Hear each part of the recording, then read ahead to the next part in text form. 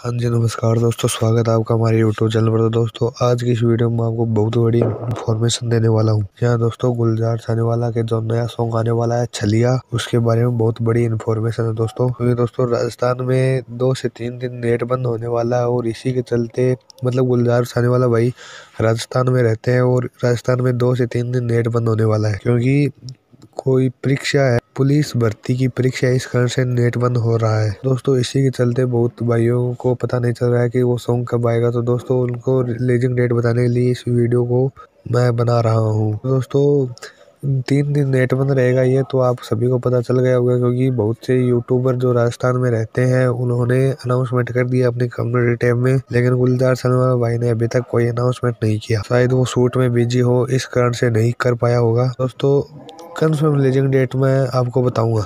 तो दोस्तों, राजस्थान में तीन दिन नेट बंद रहेगा मतलब सात, आठ, नौ तारीख तक संभावना है नेट बंद होने की। तो दोस्तों, गुलजार साने वाला का नया गाना 10 से 11 तारीख के बाद में या फिर 10 से 11 तारीख के ही दिन आ सकता है। क्योंकि दोस्तों, इतने दिन गुलजार साने वाला शूटिंग भी कर लेंगे या फिर एडिटिंग भी कर लेंगे। और इसके बाद में नहीं आएगा तो गुलजार साने वाला भाई उस दिन कोई टीजर या फिर कोई कुछ ना कुछ तो ज़रूर भी रिप्लाई करेंगे। कि इस कारण से नहीं आ पाया। तो दोस्तों, आज के लिए इतना ही। हम मिलते हैं इसके नेक्स्ट वीडियो में। तब तक के लिए जय हिंद, जय भारत, वंदे मातरम।